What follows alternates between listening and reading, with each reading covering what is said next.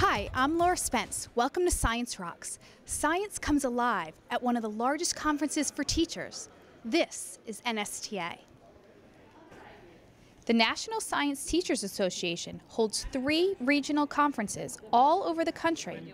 And this year, one of them is in Orlando. And one of the major emphasis is on STEM connections, preparing the workforce of tomorrow. There are tons of hands-on breakout sessions and some of the country's most recognized experts on science education.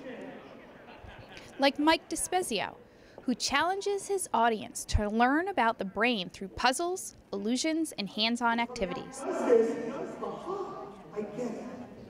Powerful stuff, kinesthetic learning. In Pinellas County, we have 155 after-school STEM academies. Why, in your opinion, it's so important to start STEM at an early age? Well, you need to. You need to develop certain critical thinking skills and the skills about engineering, higher level skills of critical analysis, of creativity, and how do you do something? And really, it's so much richer of, of, of, a child who comes to you with the younger grades and says, Yeah, I want to learn it. And the magic is still there, and they're able to construct skills on which they build further and further on, upon as they go through the grades and go to higher levels of schooling. As you tour the world and, and you talk about brain based learning, what can teachers do with STEM in their classrooms to inspire young learners? I think teachers really need to have kids do hands-on activities to see the practicality of STEM and really this inspires them to go further, not only in STEM and in math, science, technology and engineering, but in other areas as well. Um, so we listened to your presentation. You had us do several hands-on activities. What's the message that you want educators to walk out of your presentation with?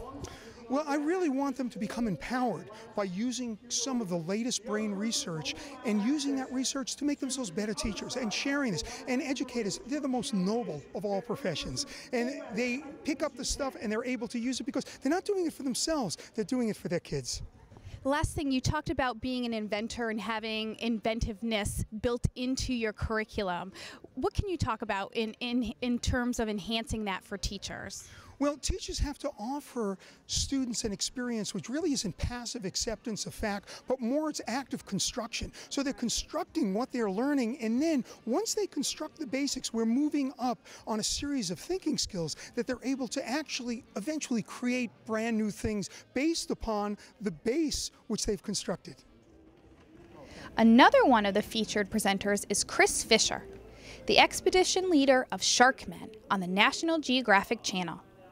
His presentation, Transforming STEM Education with Sharks and Real World Science, shows how he has developed STEM curriculum as part of his OCEARCH Global Shark Tracker. Your line of work, why is it so important to have a great focus on STEM education?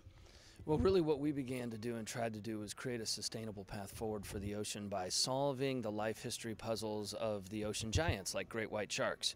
We lacked the fundamental data to create their future, and there's no future for the ocean. There will be no fish if there's not lots of sharks. They're the balance keepers. And what we found was the more we open sourced that science experiment, the more kids followed along. So we began to open source the live dynamic tracking of our white sharks and our tiger sharks, and the kids began to follow them free on phones and online. And while we had the attention of the students, we we learned we could leverage that for a world-class STEM curriculum. Mm. And while they followed their favorite sharks, they were learning math and physics and geography and geology and oceanography. So really what we came at this angle from was we have one of the most compelling ocean research projects in history going on right now, mm-hmm. solving the puzzle of these giant sharks around the world. It captivated the kids, and so we tried to leverage that to deliver them the skills they needed to get a good job in the future, which we believed was a STEM based curriculum because everything is going that way. And so we kind of um, a lot of the companies that fund us are going to have to hire people with great sets of STEM skills in the future. Companies like Caterpillar and Costa and Landry's, and and and so they were all about integrating a STEM curriculum into kind of this charismatic shark research project in real time. Um, mobile first, so that the whole world could be an explorer in real time, a scientist in real time, and then we could leverage that interest for to make science cool again. Um, we have a lot of educators here at the NSTA conference. What's one thing that you want them to walk away with? Well, the biggest thing I want them to walk away with is that there's a free STEM, open sourced curriculum of the next generation science standard available at ocearch.org for them to leverage. Oh, they can just download the lesson plans. There's 20 lesson plans up there right now, and they're integrated into the tracking of the sharks, which makes it really relevant and in the now for the kids and I want them to know it's there so that we can drive, uh, you know, adoption because that's how you make impact. So the main thing is is to help them understand that their science classes can be involved in one of the coolest ocean research projects ever and then leverage that cool factor to make STEM-based science curriculums cool. Come on, you can do it. The exhibit hall is a great place for teachers to pick up all cool stuff to use in their classrooms. No. NSTA's Orlando Conference is officially open. Yes. Welcome. The ribbon cutting is a big deal at NSTA, and it's like a scene from Black Friday as teachers rush to get free stuff for their classrooms, like this mealworm larva. Wow, and what's that going to be? It's going to turn into a chrysalis in the little container that they give us as a necklace, and then you oh. transfer it to a bigger environment for it Hopefully to not before the end of the day. No, five days. Five About days. Five days. All right, good. Pardon me? What are they called? These are called mud puppies from Minnesota. They're right. mud puppies, and their, their native name is nec- Necturus. Pinellas County teachers are well represented at the conference. Elementary science specialist Julie Poth finds some of her science coaches who are using the conference to enhance their understanding of marine life and reptiles. You don't? What you have been doing today here at the NSTA conference? Well, let's see. Today we took an educational trip to SeaWorld and we got to go behind the scenes to all the rehab right? Yeah, we saw the dol- we saw dolphins and sea turtles that were back there, and that, manatees, and manatees that yeah. were being rehabilitated. And we actually got um, there was like an impromptu. Uh, they were doing X-rays on an anteater from Discovery Cove that yeah. was sick the night before and stopped eating, so they brought it over, and we're we got to watch the X-rays and see the X-rays up on the screen. It was pretty cool. It was like totally impromptu. We didn't. Um, wasn't planned. Yeah, it wasn't planned. Yeah, oh, and then we went to the fish the fishery, the fish, oh, yeah, house. fish house, where they were and so them all the, prepping yeah, the, prepping the fish the for the for different all the animals in SeaWorld. It was it was neat. Yes. Yeah. So thinking about what you did this morning, how are you going to take that back into your role back in the district? That is a good question. Yeah. Well, we um, have uh, our life science unit that we just finished. so we could probably incorporate quite a bit of that into to life science. As, yeah, for review. For, for, review for FCAT. Talk about food for, chains, and, ecosystems, yeah. habitats. Could bring that back as a review because we're just finishing up life science and moving yeah. into physical. That'd be good. Mm-hmm. We could do that. And especially since a lot of the um, animals that were there for rehabilitation were there for injuries caused by humans, like pollution and um, trash floating Mhm. and boat injuries, boat injuries. that could really go back to that fifth grade standard that talks about How humans, and impacting impact the environment. Perfect. Yeah. This has been a great opportunity for Pinellas County educators to learn about the latest STEM trends. When we come back, we'll see how nature and technology work together in Tampa Bay. But first, here's a quick tour of our STEM academies.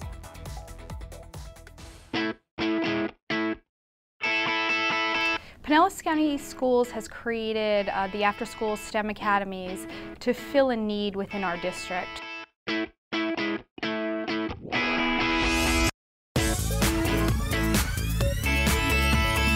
We've had a lot of business partners come to us and um, say that their demand for their careers is currently unfilled. So what we're doing is we're helping to fill that gap by providing Pinellas County students with critical 21st century skills. They were working on a recycling pro project and they were to determine uh, to make a new product. Not only we're going to make the product, but they're also learning how to market the product, come up with slogans, come up with the product name. It's curved like an S, and then the rubber bands are just hooked on at the end. There is creativity to be found within those subjects. They apply what they know from science or mathematics in an innovative way. What is invention? What's more creative than an invention? Go! It's a fun opportunity to be able to do hands-on activities, meet friends. When we're in STEM Academy, the first thing we were talking about is cooperation and learning to work in groups. And I think the challenging thing that they're learning is they have to work together and that scientists and mathematicians work together inside of their field to come up with new experiments and new designs. What we're doing in, in school now can prepare them for to become a vet, maybe even own your own lawn company, your own pool company. So I think something that has been interesting that they can use in other classes is that collaboration piece. Their ability to elaborate, their ability to take what they're learning in this class and modify it or extend their thinking in other classes.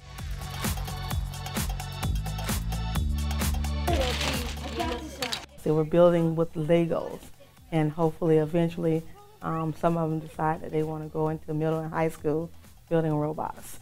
We will learn how to build build like cars and when we get older we can maybe do that.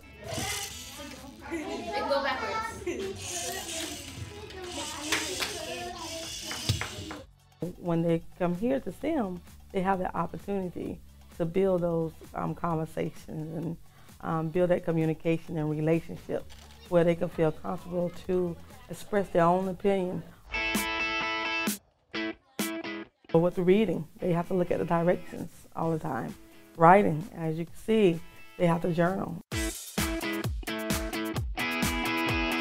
If you are interested in architecture, you're interested in learning to create those blueprints. In one group I had a smaller group of kids working with me using the career chart and really trying to analyze what, you know, I love science, but what does that really mean? Trying to get them to delve a little bit deeper into all of the different careers that are out there. This is preparing me for my future because I need a career in science and math. One of them, of course, was on, on the computer for them to learn about making good choices. What they're going to have to buy in their lives. Are they getting the apartment? Are they getting the townhouse? And they actually sit down with a good old-fashioned board game and play together and talk together. This is more geared towards their choices for education and choices that they'll make with their, their work. It provides them opportunities to start something in elementary school, then continue it into middle school. And we're providing during the day STEM opportunities in our high schools. So it's just not a one-shot deal. What we're building with our hands, we're also putting that same kind of component in their brains that if it's breaking down, if it's not working the way it's supposed to, what can they do to fix it? I think they, it builds confidence, certainly. So I think the higher rigor of STEM I think prepares them for a greater success in the future. So they're taking what they learn during the after school academy and then pairing it with what they're learning during the school day. I decided to join the STEM Academy because um, I want to know about what different job opportunities there are for my future and what I have to do to get into those opportunities. I think the kids are learning the fun of learning.